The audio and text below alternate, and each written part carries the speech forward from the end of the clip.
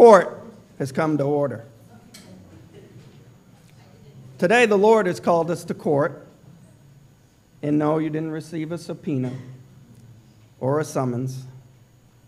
Some of you weren't even arrested this week.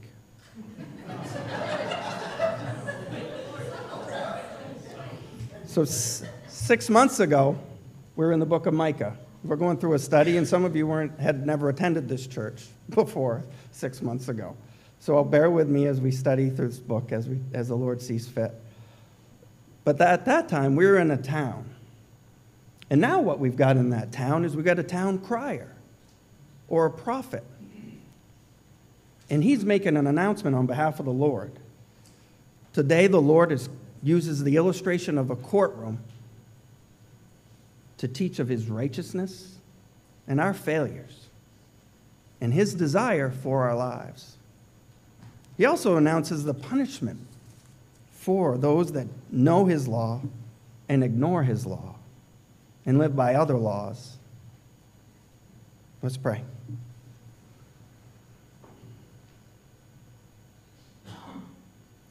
God, we come before you. God, you are on your throne right now, ruling in righteousness.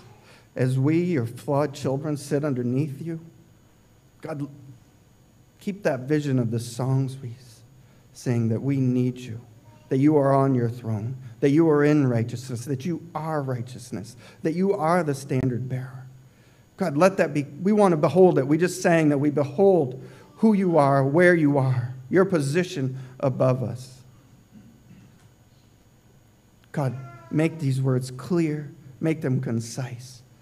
Give us a testimony, Lord, by your law, by your word, by your truth, that our testimony would be so clear in our hearts, so clear in our lives, that it would affect change in the here and now, and that it would affect change in heaven, that you would see it and be pleased by our testimony, that it would be a testimony in some way, shape, or form by your Spirit, that it would be worthy of the King, of the ruler, of the righteousness sitting on a throne right now and forevermore. God, and I ask you to prepare us. Prepare us for the day of judgment. Each one in this room be ready to be called before you. Help us, Lord. We can only do that by your Spirit. We can only do that through your Son. So we ask for that now. We ask, that's a bold prayer, and we ask for it now. In his name, Jesus the Christ. Amen. Our text, as Sam just read so well for us, starts out with the people with a case against God. The Lord tells them, Let's hear it. You've got a case against me? I want to hear what you have to say against me. Listen, the mountains I created, they're in a perfect position to hear your case too. Let, let me hear your plea against me. These mountains are over you and above you. They're a perfect vantage point to see what's going on here. What is your problem with me, the Lord? The, the Lord has wronged the nation of Israel. The mountains were there way before the Israelites were. And these mountains have seen the Israelites vacate the land given to them and head south, south to Egypt. And then the mountains were there when, Egypt, uh, when Israel left Egypt and came north, back to their land that the Lord had promised them. And the mountains and hills saw the Lord part the Red Sea and a deliverance that could only be delivered by the Lord. No one else was going to save them from Pharaoh and his army. And they watched as Pharaoh and his army were swallowed up by that sea and destroyed under the Lord's hand. And we don't hear from the people what their indictment of the Lord is, but we know it's there. We don't hear directly, they have no words. It seems the Lord's calling them out. Tell me what your problem is, basically. And our text doesn't show that they have a word to say to him. But the Lord's indictment of them clarifies his indictment of them. Ah, their indictment of him. The Lord's indictment of the people shows us and tells us, exposes what the people felt the Lord was doing against them. As part of his prosecution, God asked a series of questions in this courtroom. What have I done to you? Another claim, this is clear, that the people have a case against God. God is acting against them in their opinion. You can see that there in the text.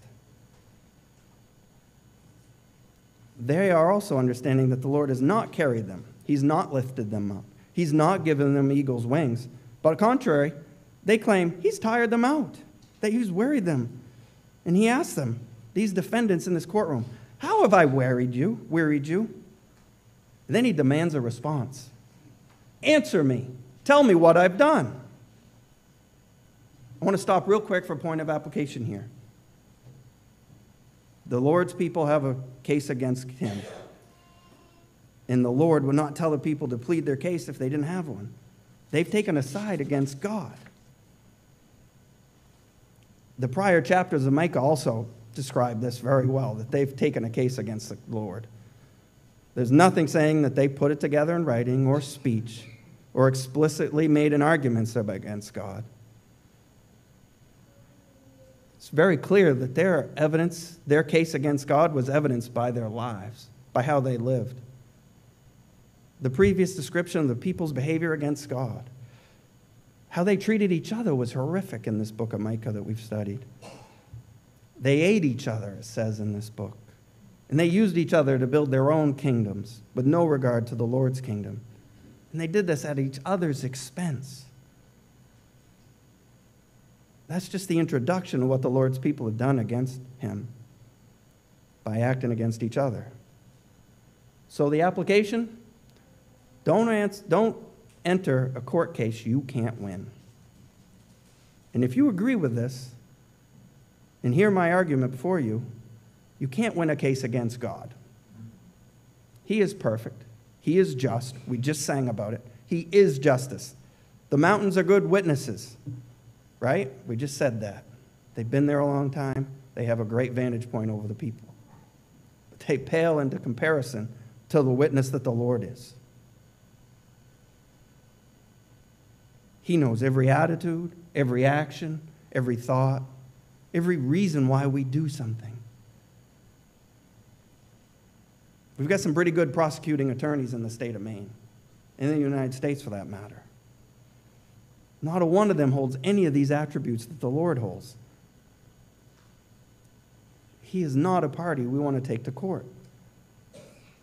So if the word today has you convinced that you've never consciously indicted the Lord, that's good.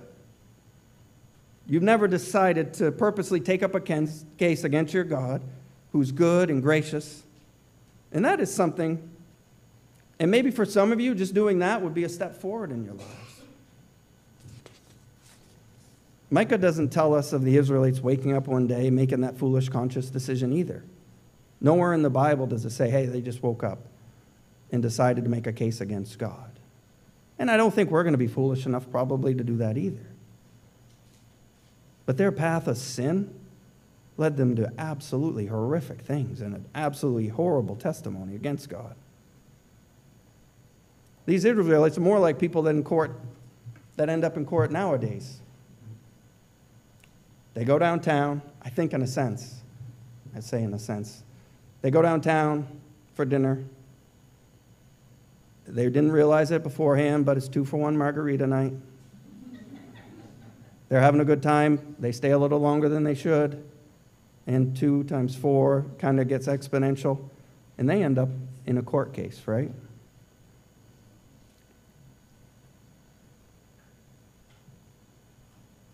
Our lives are evidence.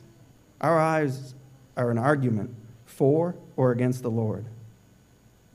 And listen, at any given time, the Lord could call us. He could call you, He could call me to plead our case before Him. He has that right. He's on that throne. We sing those beautiful songs that Justin picked. They're true, they're wonderful. But He's on a throne. He's not simply going to take anything and all things with no consequence. That te- our text is going to make that clear. He has a law, and it is to be followed.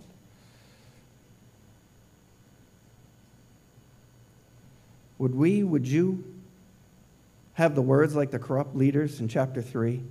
They lean on the Lord amid, amid, Lord amid their sin. They're abusing the authority that's granted only by Him. They're abusing their power and their reign and their rule, and they're building their own kingdoms at the expense, and they're eating on the flesh of, God, of people God created and God loved, God sacrificed for. God wants to know the truth, wants them to know His law. And they say, Is it not the Lord in the midst of us? No disaster shall come upon us. Church, I hope the implication here is clear. We can be in that same boat. Do I know that these people are actually eating their flesh? No, I don't. I don't think they were. I think they were using each other to build up their own kingdoms against the Lord, with no regard for the Lord or his law or his love or his mercy. As we live these lives that were given to us by God, how we live them, and from our text especially, I mean, this Micah is full of how people treat each other. So, how we treat each other today is deeply, deeply, deeply important to God because how we treat each other, somehow, some way, through His miraculous will, is how we treat Him. That's how deeply He identifies with us.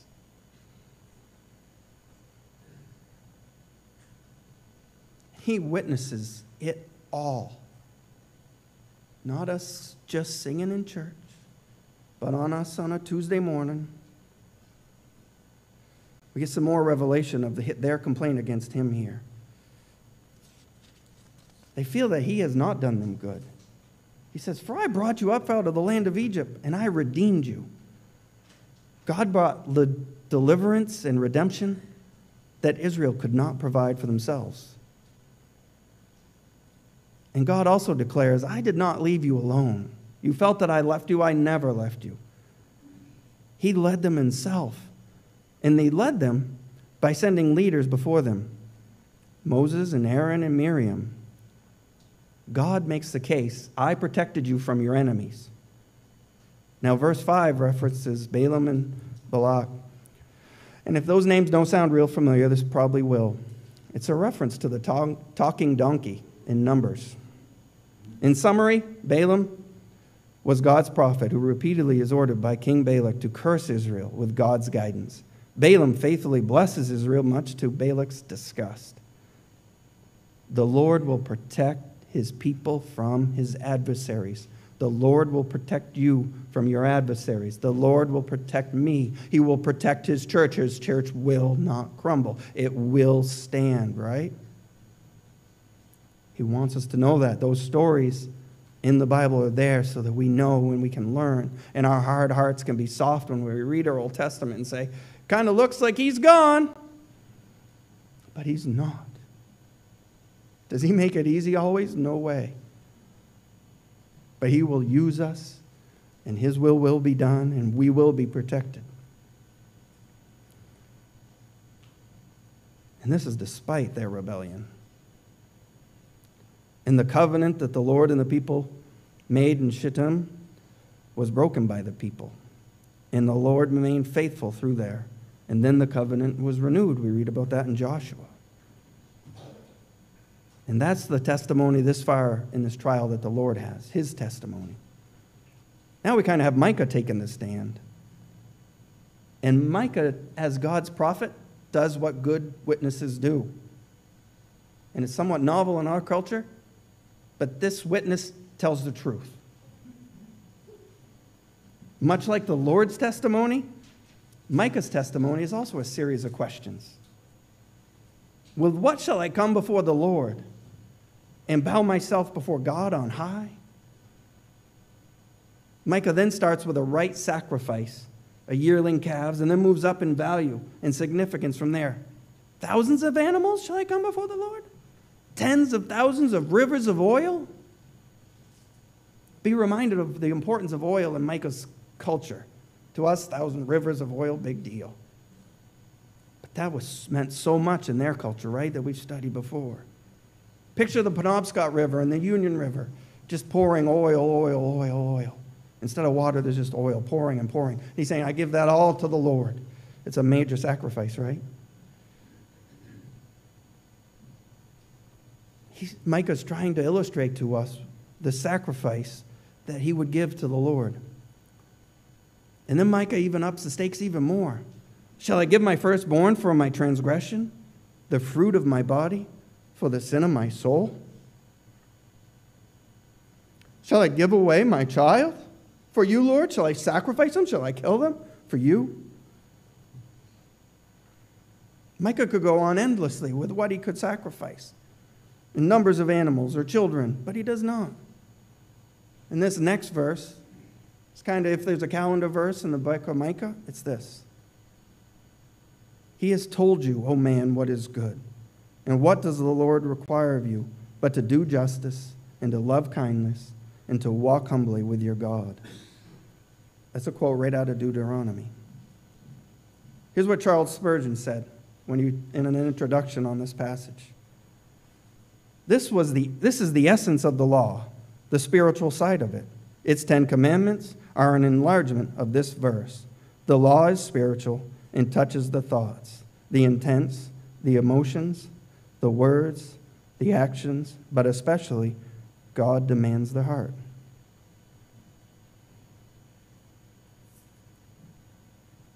When we read the Ten Commandments, when we read Numbers or Leviticus, do we hear that? Do we hear? He has told you, O man, what is good. What does the Lord require of you but to do justice, and to love kindness, and to walk humbly with your God? See, Spurgeon's right. All those sacrifices in the old system, in the old covenant, they were to illustrate exactly that. That there is no way, no sacrifice, no rivers of oil, no amount of animals, no sacrificial sacrificing children ever gets to what the Lord truly desires. It's just a simple image to point us to this truth in Micah 6 8. Justice, kindness, and a humble walk by his law. So, our, reviewing, our judge is a perfect witness. He hears all, he knows all, he sees all. That's a perfect witness. If you can have that in a court case, you're in good shape. I know all, I see all, I hear all, I perceive it all. And for Israel and Judah at this point, that's some bad news. They are behaving wickedly. They are acting absolutely horrible. And not only are they acting horrible, but they're like, oh, the Lord is with us. Who could be against us? In the middle of their sin, in the middle of feeding on each other. And it gets worse. As, it's as plain to the Lord their evil and their wickedness as your hand in front of your face. In other words, He knows our motives and attitudes just as easily as He knows the house we live in and sees it, or this church, or a car we buy. He knows our hearts. When we put a check in a plate, He sees our lust our greed. He sees our evil towards our neighbors, just like he did in Israel's day. And he sees it plainly. And this witness can call us to court at any time and call us to account because he's also on his throne. For these leaders in Israel that are mentioned in Micah that we've been learning about, he thought, they thought their religious actions meant that they would receive God's defense. In Micah 6, turns their theory on its head. Not only is he not their defense, he's their prosecutor. He makes a case against them. In this dramatic and damning testimony for these people at this court, it's horrible. We haven't even got to the sentencing yet. Hear what the Lord says today you on your own are no better off than these poor suckers in Israel with no defense, with no hope of acquittal, with a case that, from our text, they can't even verbalize. They don't even know what to say about what the Lord did wrong. And the Lord shows and describes and has evidence of his mercy and goodness and how he has never left them, how he's protected them, how he's kept them. They can't even put a case together in words. That's how weak their case is. Kind of reminds me of the book of Acts. Paul gets arrested, gets transported all over the known world. I mean, in real in Maine, I don't know what I'm charging somebody with. Guess what? They're leaving. That's not what happens here. They have a case here, just like those wicked rulers in Acts against Paul. And they're like, I, yeah, he's, I don't know what the charges are. Send him to Rome.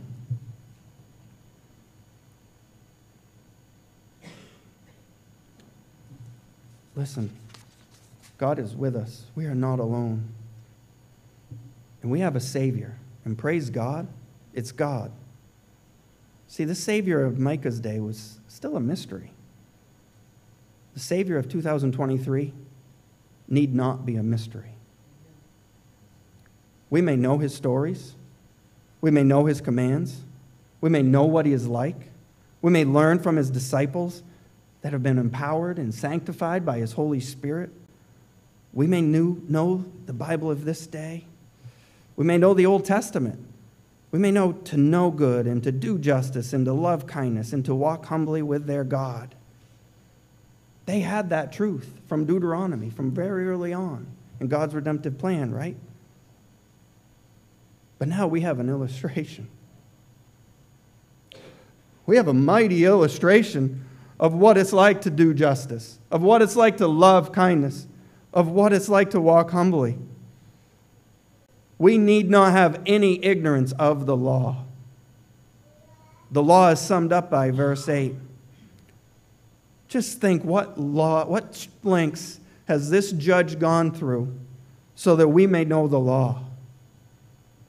I don't have time to go into it, but just think about that this week. What has God done so you could know his law? What wouldn't he do so you would know his law? And if you're here and you're visiting and you're like, what are you talking about? I don't hear from God. I don't know what you're talking about. There are people here, where this church is full of people that know the answers to that or what links this Lord has done for them so that they may know righteousness and goodness, mercy.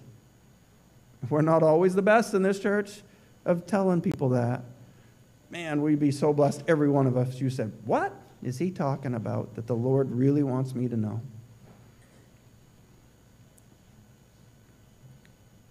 And listen, without him, you're right to despair. If Spurgeon is right, and he is, God's concern is our thoughts, our motives, our actions, our emotions. We have no hope apart from Christ. Without Christ, we can't make it to the top of the hour without a sinful thought, let alone an action or an emotion. Listen, folks, with Christ, oh, with Christ, Micah 6 is good news. Micah 6 8 is very, very good news. See, we can see Christ, we can celebrate Christ, we can read of Christ, we can know and practice what is good. With our Bibles in our hands, we can read the Hebrew word for justice over 400 times in the Old Testament and learn what God's justice that his justice is the only justice. Listen, the good news of Micah changes hearts. We can read and obey for ourselves the Lord's command to Joshua Be strong and courageous. Be careful to do according to all the law which Moses, my servant, commanded you. Do not turn from it from the right or to the left, so that you may achieve success wherever you go. This book of the law shall not depart from your mouth but you shall meditate on it day and night. These Israelites are not doing that. They're walking and they're talking and they're disregarding the law of the Lord. Do you think we cannot do that? People claiming to walk with the Lord and not? And feeding on each other? Hurting each other? Building their own kingdoms up? We read of the story of Jesus dying for us. We read the apostles' description in a letter that our Lord Jesus, humbling himself to the point of death, even death on the cross, and we learn what it's like to walk humbly with our God. Friends, with Christ, we have great hope in this trial that we've been called to today. The Lord's Spirit is now in his remnant. If you are in Christ, you are his remnant. And that Spirit's there to empower us to do what is right and to love and how to love and to walk and how to walk. And his Spirit gives us the words, his Spirit gives us a testimony that will enable his chosen to stand when he commands, Answer me. What shall we cry out? Right now, if the Lord showed up, came down from his throne, and said, I command you, what do you have? What would we cry out? Many of this room don't have to think very long. What would we cry out? Christ. Christ is my testimony. I have no other testimony. I have but one plea before you, Judge that Jesus died and he died for me. Takes us to verse 9. We're halfway done with chapter 6. Hear this, friends, the Lord's warning. It appears the sentencing phase of this trial is about to begin, but there's still hope. And listen, warnings, Old Testament or New, they should give hope to the wise.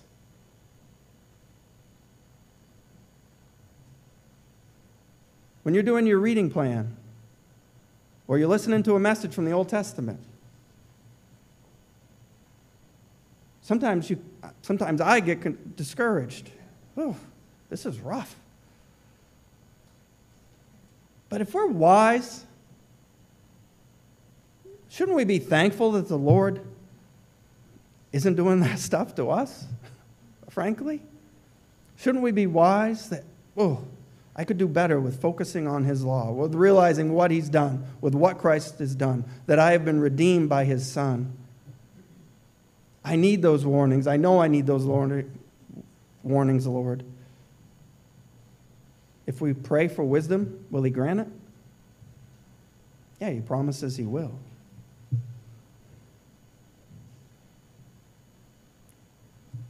The Lord speaks again City, fear my name. I want you to hear of the rod and of him who appointed it. Listen, this city, this town we're in, it's evil. And we've learned that in our study of Micah. But here is the Lord, one verse after describing what the, Lord desires mercifully, he calls out a warning to the city. And the warning just isn't in verse 9. It's right through to the rest of the chapter, right to, to 16.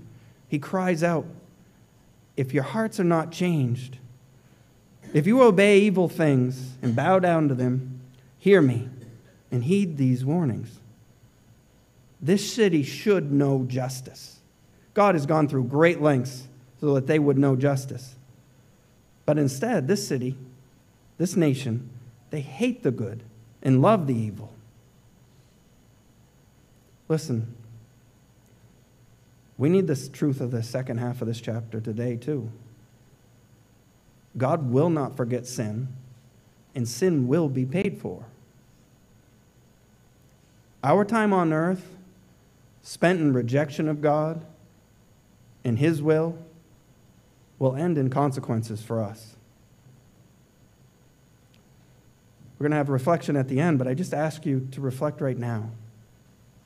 If you're eating and never being satisfied, if you're treading and walking and running, maybe sometimes, and grinding away, and you are getting nowhere, if there is no fruit,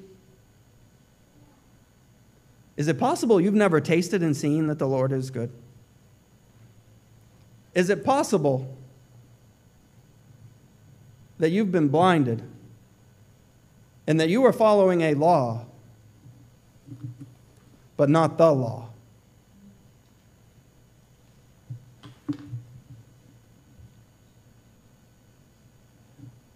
I just had a curtain removed from my life.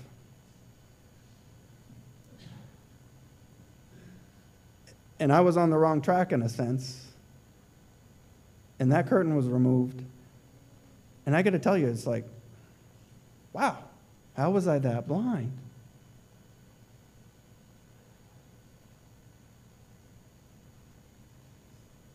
I want you to think of that. Be aware. Could it be that you participate in religious activity, much like Israel here? Remember, they're still doing their, their religious stuff, right? And then we presume on the God's salvation when we have not received by faith in His Son a new heart and a heart that does seek goodness, does celebrate God's goodness, does seek biblical kindness, does rejoice in biblical kindness and mercy. Have you turned around? Some of us probably spent too much time in the past. But I think sometimes looking back and saying, what has my path revealed about me? Does it reveal a humble walk with the Lord as the Lord wants from us? Or is it in a different direction? Do you have a willingness? Can you see a willingness to have faith and trust? And with that faith and trust, when you look back at what you've been doing and how you've been spending your time and your treasure, your talents, or just how you walk out a week, is there faith in those steps you took? Or are you following your own law because you know what you know and you trust you more than you trust His Word and Him and His Son?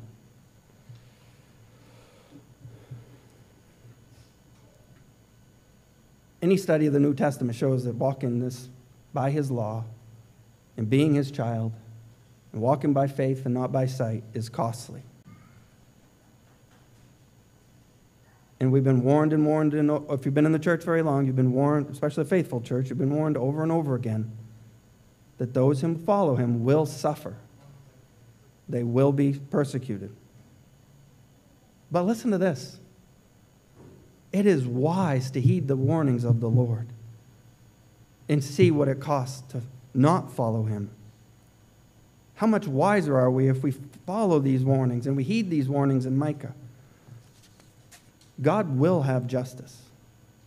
God will not forget our evil deeds. Our evil deeds will be paid for. For many of us, they've already been paid for. And he may mete out whatever sentence he chooses, whenever he chooses.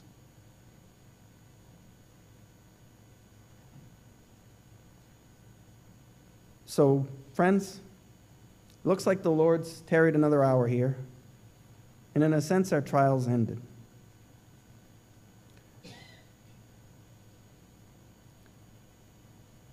And we are guilty and a perfect witness that knows all and sees all, happens to be the judge, that also graciously lets us walk out of this courtroom and back into our lives. Church, be wise.